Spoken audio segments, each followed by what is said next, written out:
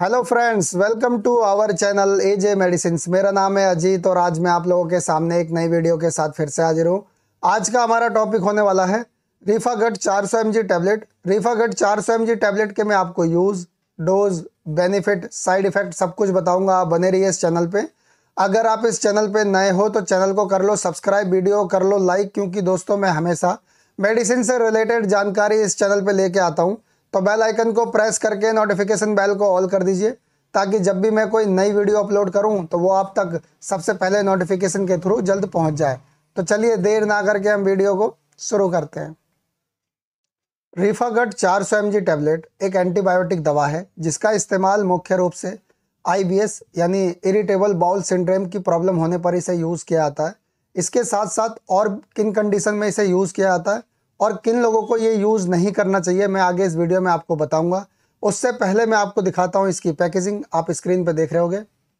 रीफागढ़ चार सौ टैबलेट ये एक पत्ते में दस टैबलेट आती है और इस एक पत्ते का प्राइस है तीन सौ यानी थ्री हंड्रेड ओनली कंपनी इसे बनाती है सन फार्मास्यूटिकल्स और कॉम्पोजिशन इसमें होता है रिफाक्सीमिन चार सौ चलिए दोस्तों, अब मैं बताता हूँ, इसे किन कंडीशन में यूज़ किया जाता है। दोस्तों, किसी को गंभीर दस्त हो रहा हो बार बार पतले दस्त हो रहे हो तो उस कंडीशन में इसका इस्तेमाल किया जाता है। या फिर किसी को हेपेटिक एनसेफ्लोपैथी की प्रॉब्लम जिन लोगों को होती है, उस कंडीशन में भी इसका इस्तेमाल किया जाता है। चलिए दोस्तों, अब मैं बताता हूँ इसे यूज़ करने का सही तरीका, यानी इसके डोज दोस्तों, इस टैबलेट का इस्तेमाल सात साल से चौदह साल के बच्चों में आधी टैबलेट सुबह आधी टैबलेट शाम को खाना खाने के बाद, और जिन लोगों की उम्र चौदह से ऊपर है वो एक टैबलेट सुबह, एक टैबलेट शाम को खाना खाने के बाद लेंगे। दोस्तों वीडियो को पूरा देखिएगा, क्योंकि जो भी प्रोडक्ट हम यूज़ करना चाहते हैं, उसके साइड इफ़ेक्ट हमें मालूम होने चाहिए। साथ साथ उसकी पूरी जानकारी भी होनी चाहिए। और अगर आपका कोई सवाल हो मुझसे तो आप कमेंट बॉक्स में लिख के पूछ सकते हो। मैं उसका जवाब ज़रूर दूँगा। हो सकता है थोड़ा लेट रिप्लाई आए, लेकिन मैं जवाब ज़रूर दूँगा।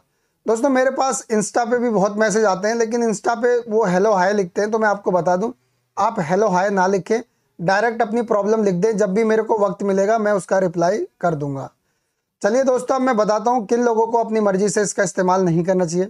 जो महिला गर्भवती हो, वो अपनी मर्ज़ी से इसका इस्तेमाल ना करें, या फिर जो महिला अपने बच्चे को स्तनपान कराती हैं, वो भी अपनी मर्ज़ी से इसका इस्तेमाल ना करें, या फिर सात साल से कम उम्र के बच्चों को ये टैबलेट ना दें।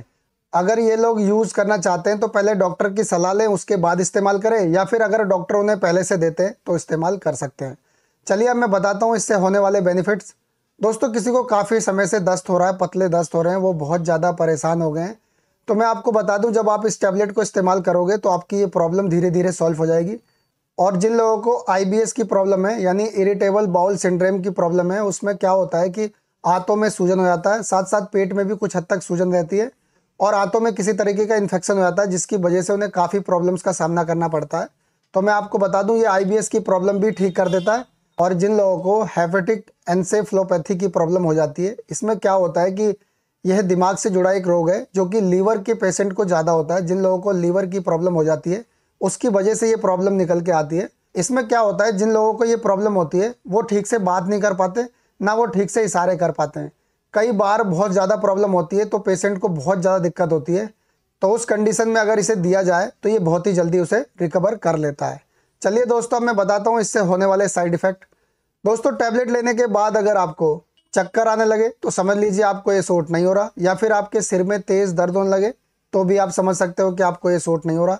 या फिर आपको बहुत तेज़ बुखार आने लगे तो भी आप समझ सकते हो कि आपको ये सूट नहीं हो रहा है। दोस्तों, मैं आपको बता दूँ, कोई भी दवाई यूज़ करने से पहले आप डॉक्टर की सलाह ज़रूर लें। डॉक्टर की सलाह के बिना कोई भी दवाई यूज़ ना करें। आई होप कि आपको वीडियो पसंद आई होगी। शॉर्ट वीडियो लाने की कोशिश करता हूँ ताकि आप लोगों का समय बचा सकूँ और आसान भाषा में वीडियो लाता हूँ ताकि सब तक पहुँच सकूँ। तो दोस्तों, आज के लिए इतना ही। कल फिर मिलूँगा एक नई वीडियो में एक नई जानकारी के साथ। तब तक के लिए मुझे इजाज़त दीजिए। Good bye.